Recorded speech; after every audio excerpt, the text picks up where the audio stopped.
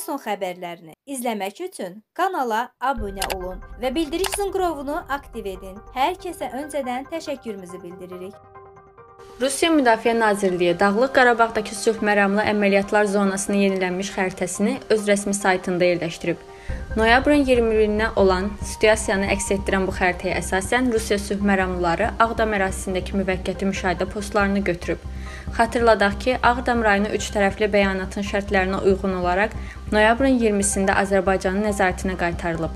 Ordumuzun zirehli texnika və tank bölmələri, habelə motatıcılar rayon ərazisinə daxil olaraq müəyyən olunmuş mövqeləri tutublar.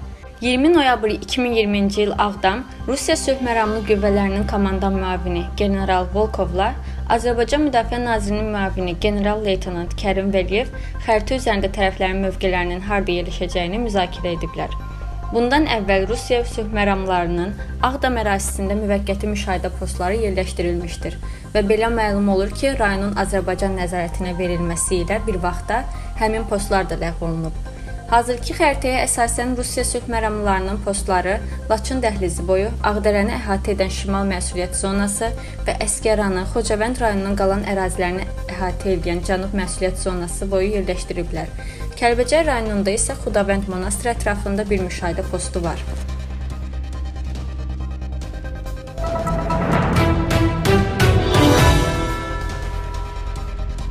Fransa prezidenti Emmanuel Macron Dağlıq Qarabağın Azərbaycan ərazisi olduğunu etiraf edib. Yeni Sabah.az xəbər verir ki, bu barədə Paris Azərbaycan evinin rəhbəri, Fransada Azərbaycanın Dostları Assosiasiyasının baş katibi Mirvari Fətəliyeva özünün Facebook sosial şəbəkəsində məlumat verib. Beynəlxalq hüquqa əsasən Birləşmiş Millətlər Təşkilatı tərəfindən Dağlıq Qarabağ və digər rayonlar Azərbaycan ərazisi kimi tanınır. Buna görə də suveren dövlətdən istək yoxdursa, bu məsələyə qarışmayın, deyə Makron etiraf edib.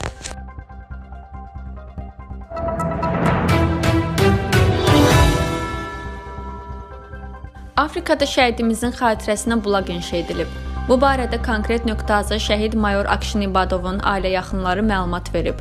Afrikada 36 yaşlı şəhid Akşin İbadovun xatirəsinə tikilən bulaq Qərbi Afrikada yerləşən Benin Respublikasındadır. Burada mövcud su problemindən əziyyət çəkən insanlar həmin bulaqdan istifadə edə biləcək.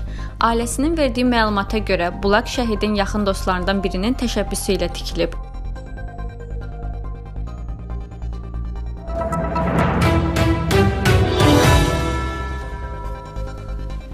Azərbaycan Fövqəladə Hallar Nazirliyi tərəfindən Rusiya Fövqəladə Hallar Nazirliyinin Şuşa və Xankəndi şəhərlərinə göndərdiyi humanitar yardımın Samur sərhəd keçid məntəqəsində qarşılanaraq müşahidə təşkil olunub.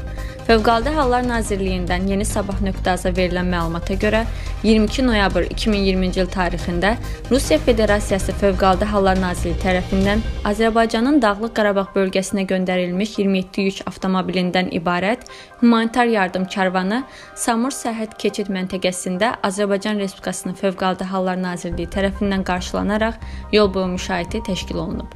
Tikinti materiallarından ibarət humanitar yardımın yarısının Şuşa şəhərinə digər yarısının isə Xankəndi şəhərinə çatdırılması nəzərdə tutulur.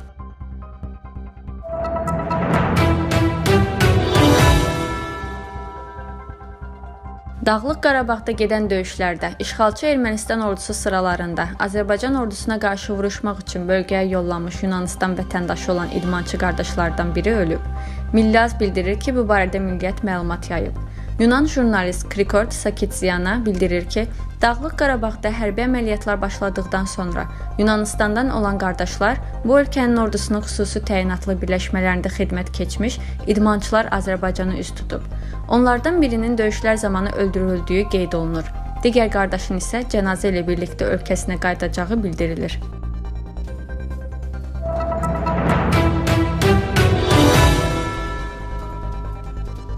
Ötən 18 il və gələcəyə baxdığımızda millətimizin yeganə ümidinin Ədalət və İnkişaf Partiyası olduğunu görürük. Hər sahə üzrə güclənərək 2023-cü il hədəfimizə doğru irəliləyirik. Övladlarımıza miras olaraq bir güclü bir Türkiyə qoyacağıq.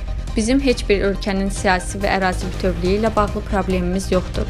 Məzlum və zərər çəkənlərin yanında durmaq bir cinayətdirsə, onda bəli biz günahkarıq. Konkret.az Azərtaca istinadən xəbər verir ki, bu fikirləri Türkiyə prezidenti Rəcəb Tayyib Ərdoğan ölkənin Hakim Ədalət və İnkişaf Partiyasının İsparta, Burdur, Gümüşhane, Kastamonu və Sinop vilayətlər təşkilatının 7-ci konfransında deyib. Ölkədə pandemiya ilə bağlı olan son vəziyyətə toxunan prezident Ərdoğan deyib: "Pandemiya dövrü ərzində özümüzlə birlikdə bütün dostlarımıza kömək etdiyimiz bir mühit yaratdıq. İnsanların hərəkətini mümkün olduğu qədər azaldaraq virusun yayılma tempini də azaldacaq tədbirlər aldıq. Qadağalara riayət edilməzsə əlavə tədbirlər almaq məcburiyyəti ilə qarşı-qarşıya qala bilərik."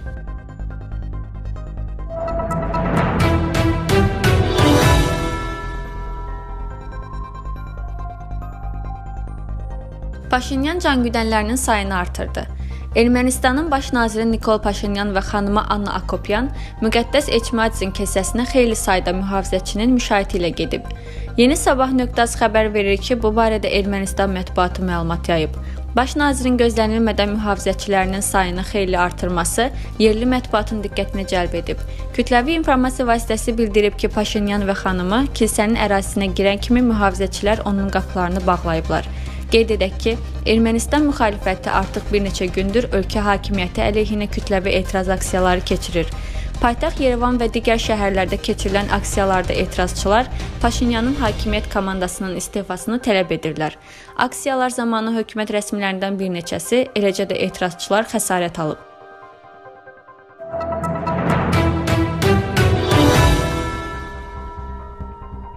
Mən bayramın yolunu bir ildə gözləyirəm. Təki desinlər ki, balam sağdır.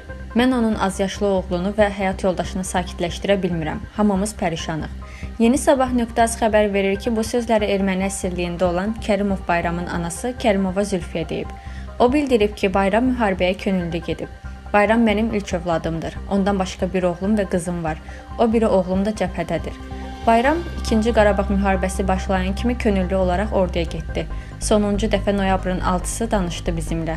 Bizə bildirdi ki, Şuşaya gedirlər və bundan sonra əlaqə yaratmaq çətin ola bilər. Zülfiyə Kərimova deyib ki, Bayramın övladı atasının yolunu gözləyir. Oğlu atasının şəklinə baxıb atam gələcək deyərək ağlayır. Nə onu, nə də Bayramın həyat yoldaşını sakitləşdirə bilmirik. Zülfiyə ana bir daha Qırmızı Xaç komitəsinə müraciət edib. Balamı sağ-salamat qaytarıb versinlər. Balamın heç olmasa bir səsini və ya görüntüsünü versinlər. Şəklini göstərsinlər və desinlər ki, balam sağ-salamatdır. Eyb yox, mən bir ildə gözləyərəm. Təki bilim ki, balam salamatdır və onu bizə verəcəklər.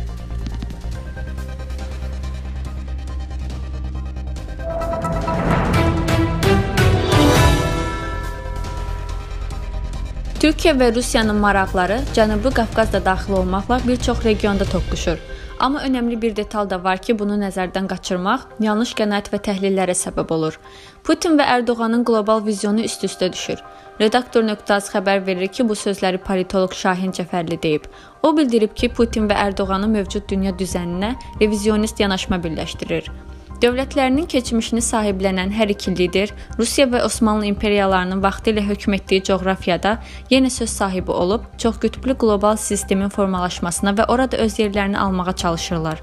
Bu baxımdan Ərdoğan Rusiyada nə qədər qıcıq doğursa da, Putin üçün qiymətli bir tərəfdaşdır. Məsələn, Ərdoğan hazırki siyasətini Amerika Birləşmiş Ştatları və NATO ilə bərabər yetirsəydi, Putinin reaksiyası tamam fərqli olardı. Amma Putin Ərdoğanın müstəqil hərəkət etdiyi bildiyi üçün ona hörmətlə yanaşır. Hətta Rusiyanın maraqlarına qarşı yönəlmiş addımlarına da dözüm göstərir. Politoloq bildirib ki, NATO üzvü olmasına və Qərblə siyasi, iqtisadi, hərbi inteqrasiyaya getməsinə baxmayaraq, Türkiyənin dərin dövlət qatlarında və toplumda hər bir zaman Avrasiya vizyonu da olub.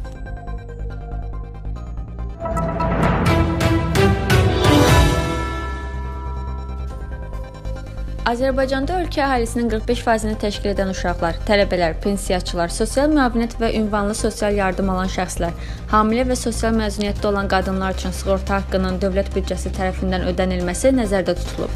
Bunu Xalq qəzetinin müsahibəsində İcbari Tibbi Sığorta üzrə Dövlət Agentliyinin idarə heyətinin sədri Zaur Əliyev deyib. O hazırda icbari tibbi sığortanın baza zərfinə 1829 adlı tibbi xidmətin daxil olduğunu bildirib. Bunlardan 480-ı ambulator, 677-si stasionar, 18-i ilkin səhiyyə, 6-sı təcili və təxirə salınmaz tibbi yardım, 23-ü isə fizioterapevtik xidmətlərdir. Baza zərfi həmçinin 459 adda laborator müayinəyə və 166 adda həyati vacib dəyəri yüksək olan xidmətlərə də təminat verir. Zaur Əliyevin sözlərinə görə, tibbi sığorta haqqında Azərbaycan Respublikasının qanununa əsasən isə icbari tibbi sığortanın xidmətlər zərfi 2 hissədən ibarət olacaq. Baza və əlavə hissələrdən. Baza hissəyə ilkin səhiyyə xidməti, təcili və təxirə salınmaz tibbi yardım xidməti, əlavə hissəyə isə ixtisaslaşdırılmış tibbi yardım aiddir. Baza hissədən Azərbaycan Respublikasının vətəndaşları, Azərbaycan Respublikasında daimi və ya müvəqqəti yaşayan əcnəbilər və vətəndaşlığı olmayan şəxslər istifadə edə bilərlər. Baza hissədən istifadə pulsuzdur və bu xidmətlər üzrə hər il adam başına 29 manat dövlət büdcəsi hesabına ödəniləcək. Xidmətlər zərfinin əlavə hissəsinə aid olan ixtisaslaşdırılmış tibbi yardımdan istifadə etmək üçün isə icbari tibbi sığorta haqqı ödənilməlidir. Burada bir məqamı qeyd edim ki, ölkə əhalisinin 45%-ni təşkil edən uşaqlar, tələbələr, pensiyaçılar, sosial müavinət və ünvanlı sosial yardım alan şəxslər, hamilə və sosial məzuniyyətdə olan qadınlar Azərbaycan Respublikasının Əmək Məcəlləsinə uyğun olaraq bağlanmış və hüquqi qüvvəyə minmiş əmək müqaviləsi və ya Azərbaycan Respublikasının mülki məcəlləsinə uyğun olaraq mülki hüquqi müqavilə əsasında işləmədiyi və sahibkarlıq fəaliyyəti ilə məşğul olmadığı hallarda üçün sığorta haqqının dövlət büdcəsi tərəfindən ödənilməsi nəzərdə tutulub. Nəzərinizə çatdırım ki, hazırda xidmətlər zərfi üzərində agentlik tərəfindən ciddi işlər həyata keçirilir. Yaxın zamanlarda xidmətlər zərfinə daxil olan tibbi xidmətlərin adları təsdiq olunduqdan sonra ictimaiyyətə açıqlanacaq deyə agentlik rəhbəri əlavə edib.